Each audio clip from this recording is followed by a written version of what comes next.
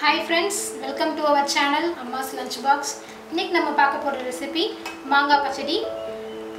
நம்ம எங்கள் ஊரில் இது எல்லா வீட்டு விருந்துகள்லையுமே வைப்பாங்க இந்த மாங்காய் பச்சடியை. இந்த மாங்காய் பச்சடியோட ஸ்பெஷல் என்னென்னா உப்பு இனிப்பு காரம் எல்லாமே இதில் கலந்துருக்கும். அதனால் ரொம்ப டேஸ்ட்டாகவும் இருக்கும். எல்லாருமே வந்து விரும்பி சாப்பிட்ற மாதிரியும் இருக்கும். இது நம்ம எப்படி செய்கிறதுங்கிறத நம்ம பார்க்கலாம். மாங்காய் பச்சடி செய்கிறதுக்கு தேவையான பொருட்கள் என்னென்னு பார்த்துடலாம். நான் இன்னைக்கு ரெண்டு மாங்காய் எடுத்திருக்கேன். இந்த மாதிரி ரெட் கலரில் இருக்கணும் மாங்காய் அப்போ தான் பச்சடி செய்கிறதுக்கு ரொம்ப டேஸ்ட்டாகவும் இருக்கும். அதுக்கப்புறம் உப்பு. அதுக்கப்புறம் ஒரே ஒரு பச்சை மிளகா. இது குண்டு மிளகாவும் இருக்கலாம் இல்லை நீளமான பச்சை மிளகாவும் இருக்கலாம் இதை ஒன்று போதும். இந்த பச்சடிக்கு தேவையான வெள்ளைப்பாகு. இந்த மாதிரி ஒன்று ரெண்டாக சீவி வச்சுக்கோங்க. இந்த மாதிரி ஃபுல்லாகவே சீவிடணும் ஏன்னா ஃபுல்லாக நம்ம தோல் எடுத்துட்டோம் அப்படின்னா மாங்காய் பச்சடி கொல கொலன்னு இருக்கும். இந்த மாதிரி ஒன்று ரெண்டாக எடுத்துட்டோம் அப்படின்னா கொஞ்சம் எடுத்து சாப்பிடவும் நல்லாயிருக்கும். நம்ம தோல் சீவின மாங்காவை இந்த பீசஸில் கட் பண்ணி வச்சுக்கணுங்க.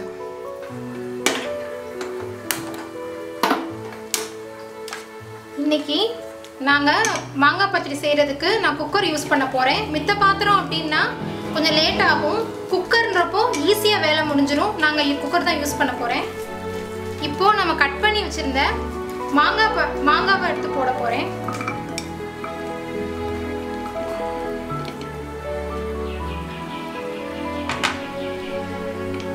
அதுக்கப்புறம் அரை டம்ளர் தண்ணி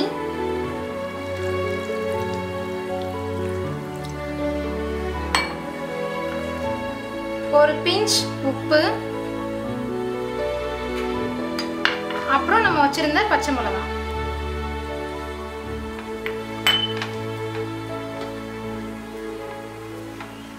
இப்போ நம்ம மூடி போட்டு மூடி ஒரு விசில் விட்டு எடுத்துக்கலாம்.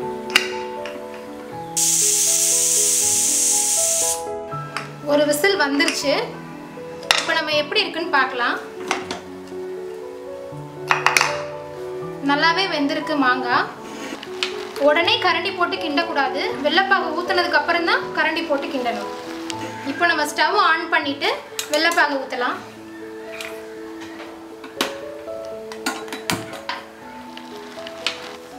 இப்போ நம்ம வெள்ளைப்பாகு எடுத்து ஊற்ற போகிறோம் நாங்கள் வந்து ரெடியாக இன்ஸ்டண்ட்டாகவே நம்ம வீட்டில் வெள்ளைப்பாகு ரெடி பண்ணி வச்சுருப்போம். நம்ம பணியாரத்துக்கு இல்லைன்னா இந்த மாங்காய் பச்சடி பண்ணுறதுக்கு இதை ப நம்ம யூஸ் பண்ணிக்கலாம். இது நம்ம வெள்ளைப்பாகு வந்து பண்ணுறதுக்கு இன்னொரு வீடியோவில் நான் சொல்கிறேன்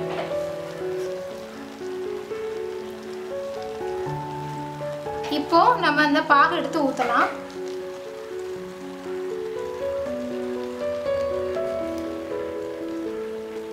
கொஞ்சம் கொஞ்சமாக இந்த மாதிரி எல்லா மாங்காயிலையும் படுற மாதிரி ஸ்ப்ரெட் பண்ணி ஊற்றிக்கோங்க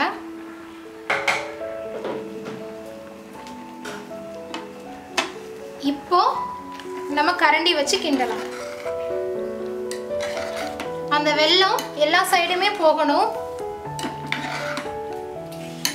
நல்லா அடியில் வச்சு கிண்டணும். அப்பதான் வந்து எல்லா மாங்காயிலுமே இந்த வெள்ளம் இருக்கும்.